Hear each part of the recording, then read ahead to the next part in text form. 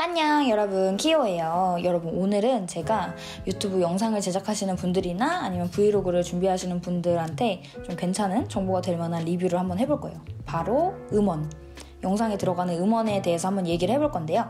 영상을 만드시는 분이 아니더라도 유튜브를 많이 보신 분들이라면 영상에 저작권이 걸린 음원이 들어가게 되면 수익을 창출할 수 없다는 사실을 많이들 알고 계실 거예요. 물론 저는 지금 구독자 1000명이 안 넘어가지고 그렇게 크게 상관은 없긴 하지만 그래도 나중까지 생각한다면 미리 대비하는 것도 좋다고 생각을 합니다. 제가 초반에 브이로그 만들 때 제일 고민이었던 게 음원 찾는 거였어요. 그래가지고 제가 뭐 영상 전문가나 뭐 전공자 이런 건 아니긴 하지만 그래도 그동안 유튜브 하면서 알게 된 그런 음원에 관한 정보들 여러분들한테 한번 공유를 한번 해볼까 합니다. 이제 유튜브에 상업적으로 이용 가능한 음원 찾는 방법 몇 가지를 얘기해보자면 첫 번째 유튜브 오디오 라이브러리 음원이 엄청 많고 그리고 효과음도 있어요. 장점이라고 하면은 이제 어, 유튜브에서 직접 제공을 해주는 음원이니까 정말 안심하고 써도 된다는 점이고요. 단점은 노래가 약간 구리다는 거. 여러분들도 들어보시면 느낌이 딱 오실 거예요. 뭔가 미묘하게 구린 느낌. 근데 그래도 요새 좀 괜찮은 노래도 많아지긴 했더라고요. 근데 아직까지는 괜찮은 음원보다 좀 구린 노래의 비율이 좀 더 높은 것 같긴 해요.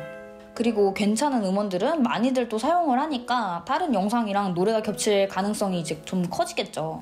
그러다 보면은 아무래도 좀 제 영상을 봤을 때 좀 진부한 느낌도 많이 받을 수 있고. 그래가지고 저는 이제 유튜브 오디오 라이브러리는 사용하지 않고 있고요. 두 번째, no copyright 음원 검색해서 찾기.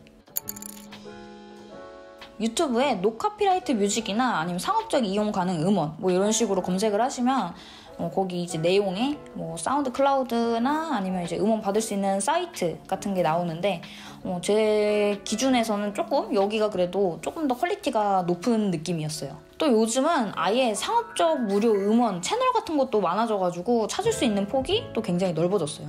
근데 이제 단점은 아무리 폭이 넓어졌다고 한들 어, 내가 원하는 분위기의 곡을 매번 찾기가 힘들고 귀찮다는 점 그리고 이제 영상 내용에 저작자 그리고 출처 이 정도 기재를 꼭 해줘야 된다는 점 그 정도가 있습니다. 아 그리고 또 간혹가다 상업적 이용 가능이라고 해서 사용을 했는데 나중에 유료로 전환이 되는 경우도 있다고 합니다.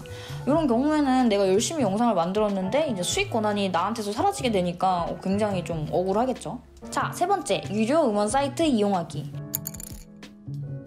아무래도 돈을 내고 사용하는 거기 때문에 이제 음원의 퀄리티도 많이 올라가고 그 다음에 이제 저작권 걱정 없이 사용할 수 있습니다.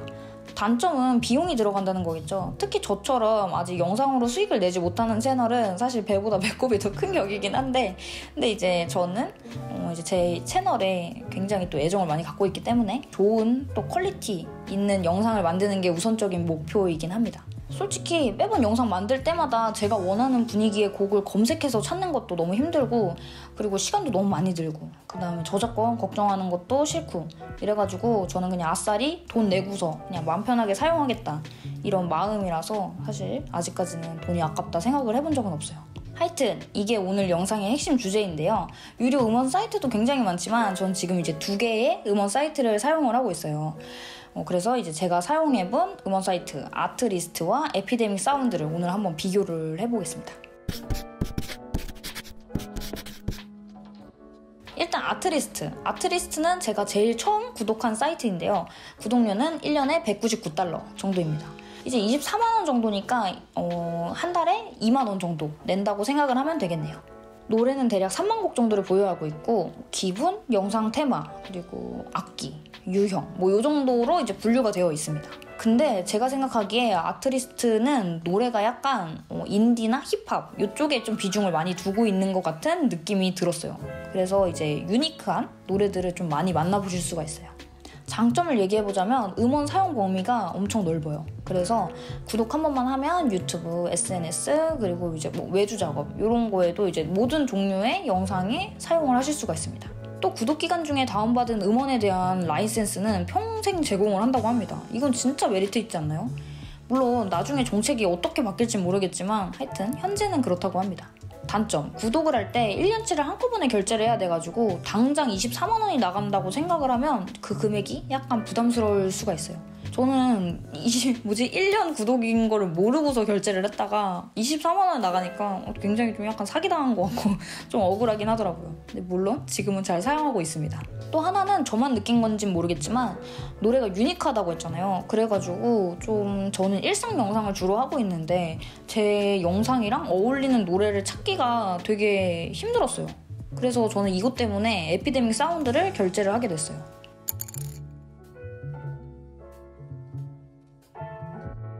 그럼 에피데믹 사운드로 넘어가서 설명을 해보자면요.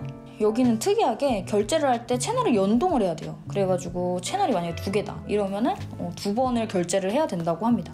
그리고 크리에이터 월간뷰에 따라서 금액이 책정이 되는데 월간뷰 500만 회 이하이면 15달러 그리고 이상이면은 149달러라고 합니다. 그거를 지불을 해야 된대요.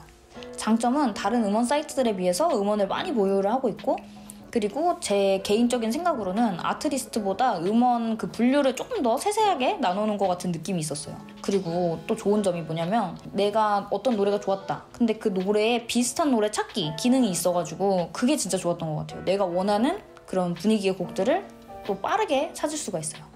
그리고 특히 에피데믹 사운드에서 제일 마음에 드는 점 노래를 다운받을 때 뭐 voice, instrument, 드럼 뭐 이런 거 등등 어, 자기가 원하는 그런 개별 트랙을 받을 수가 있어요.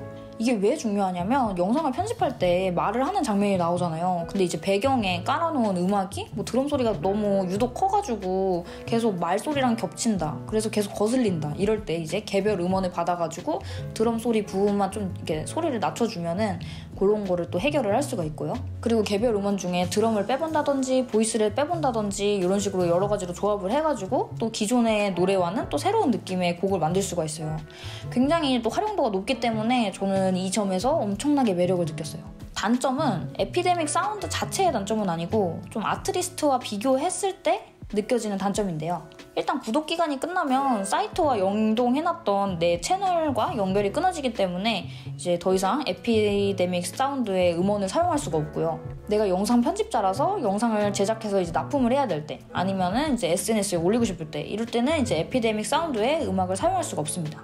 그리고 월간 view 500만 회 이상 인 채널을 운영하고 있다 이러면 한 달에 이제 18만 원 정도가 들어가게 되는 거니까 이게 다달이 계속 들어간다고 생각을 해보면 또 그것도 부담스러운 부분이 있죠.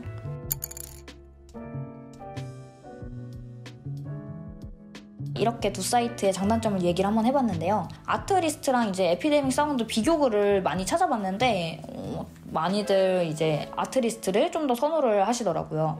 근데 이제 저는 사실 에피데믹 사운드랑 조금 더 맞다고 생각을 해서 에피데믹 사운드로 이제 완전히 갈아탈 생각이긴 합니다만 이제 어 약간 그래도 이제 개인적인 특성에 따라서 어 선호도가 바뀔 것 같아요.